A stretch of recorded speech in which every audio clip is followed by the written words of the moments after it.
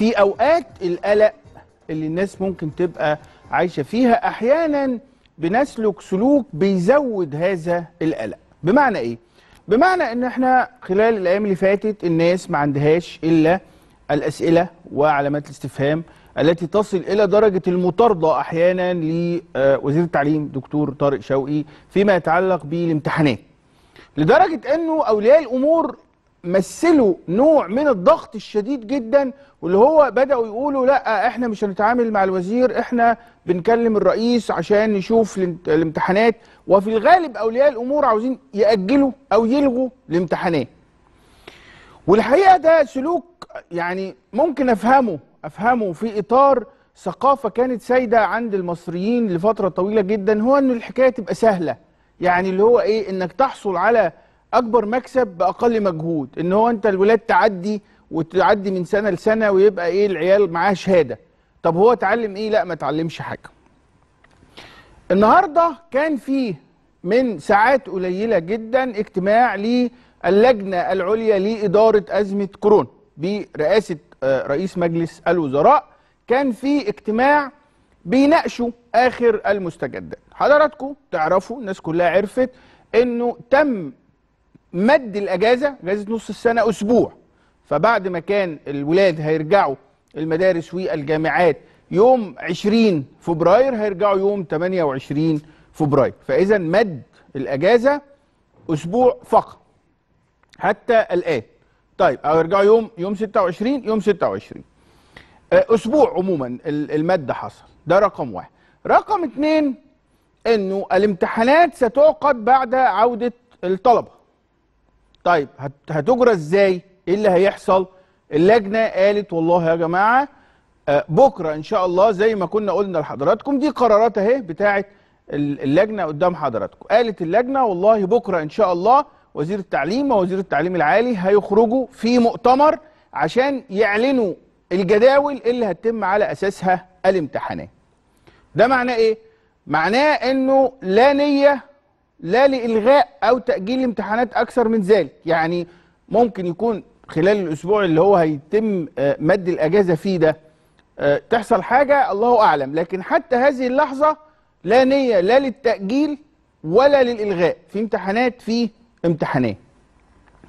اللي أنا عايز أقوله إيه؟ أو اللي أنا عايز أطلبه من الناس و... وأنا ما بتكلمش وإيدي في الماء الباردة زي ما بيقولوا. يعني في بعض الناس إيه يتعامل مع الإعلام ده وكأنه بيتكلم من كوكب آخر أو بيتكلم وهو مش عايش في البلد. لا يعني إذا كان أولياء الأمور مهتمين بالامتحانات ومواعيد الامتحانات والولاد هيعملوا إيه فأنا آه، كولي أمر مهتم جدا بمسألة الامتحانات والامتحانات إمتى والولاد هيعملوا إيه. يعني إذا إحنا كلنا في هذا الموضوع آه، ما بكلمكوش من براه. الناس محتاجة تسمع محتاجة تسمع. بمعنى إيه؟ بمعنى إنه في ناس بتدير الأمور في البلد. والناس اللي بتدير الأمور في البلد دي عندها المعلومات الكافية عن الأوضاع اللي موجوده فيما يتعلق بقى بكورونا الإصابات آه، توقع حتى الإصابات الناس عندها معلومات. المعلومات دي ممكن ما تبقاش موجودة عند السواد الأعظم أو الغالبية العظمى من الناس وده طبيعي جدا. وعليه بيبقى اللي بيدير الأمور ده هو أصلح من يأخذ القرار. ما كانش حد متوقع أنه يتم مد الأجازة أسبوع. لديهم هم من الأسباب والمبررات اللي تخلي المد أسبوع. حصل ليه الله أعلم. ممكن يكون عشان استعدادات فيما يتعلق بالمدارس تحديدا النظام اللي هيعمله على اساسه الامتحانات وإجراءاته وتوفير إجراءات احترازية وأدوات للتعقيم والتطهير للمدارس كلها اللي هتعقد فيها الامتحانات ممكن يكون محتاج وقت أطول فمد أسبوع. قد يكون ده يعني قد يكون هذا هو سبب مد الأجازة أسبوع إن هو محتاجين وقت لمزيد من الاستعدادات لعقد الامتحانات. لأنه خلي بالكم لازم الامتحانات تعقد. لازم الامتحانات تعقد. ليه؟ لأنه لازم يبقى في أساس للتقييم واضح. أساس للتقييم واضح مش كله يتساوى. زي ما حصل السنة اللي فاتت إن عملوا آه، الولاد آه، الأبحاث. طبعا الأبحاث حضراتكم عارفين الأهالي اشتروها نقلوها من بعض نسخوها وكانت الأعصاب آه، يعني مضغوط عليها جدا فالحكاية مشت لكن دلوقتي ثبت إنه الأبحاث ده لأنه الناس ما تعاونتش وعملتها صح قال لك لا مش هنعتمد الأبحاث بشكل أساسي حتى الآن حتى هذه اللحظة. خلي بالكم أنا طول الوقت بقعد أقول إيه؟ حتى هذه اللحظة. طيب ما تمش الإعلان ما تمش الإعلان عن أي حاجة تخص جداول الامتحانات بس في تصورات موجودة. فنتكلم خلاص القرارات يا شباب. آه في تصورات أو في سيناريوهات بشكل أساسي عن اللي هيحصل في بكرة إن شاء الله وزير التعليم لما هيطلع يتكلم. أنا مش عاوز أستبق الأحداث. يعني إحنا عندنا معلومات فمش عايز أستبق الأحداث عشان الناس ما تعتب ما تعتبرش اللي إحنا هنقوله ده هو الخطة. لكن إحنا عندنا تصور من من بعض المصادر اللي الناس اشتغلت على هذه الخطة لأن الخطة جاهزة فهيتم بعد العودة بعد العودة مباشرة. اولا هيتم استئناف الدراسة هيتم استئناف الدراسة. طيب إيه إيه بخصوص الامتحانات؟ انت عندك الولاد اللي هم رياض الأطفال لحد ثالثه ابتدائي.